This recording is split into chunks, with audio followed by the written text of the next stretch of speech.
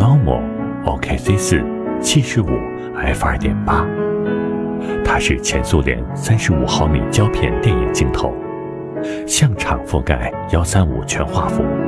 必须经过改装才能在数码单反上使用。它由镜芯、套圈、调焦筒、转接环、滤镜环、遮光罩六部分组成。二战时期战败的德国。蔡司工厂遭到了战胜过苏联的袭击，列宁格勒光学与机械企业生产了大量的电影镜头，厚重的色彩表现使它电影味十足，它的立体感、空间感、色彩层次、气氛表现都是相当优秀的，在当时甚至某些方面超越了蔡司。这个镜头最适合拍男人。拍女人的味道却又不一般，他真是双面娇娃。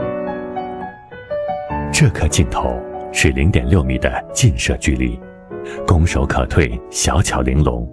拍人文民俗，油画般的纪实色彩，拍人像厚实而不失妩媚。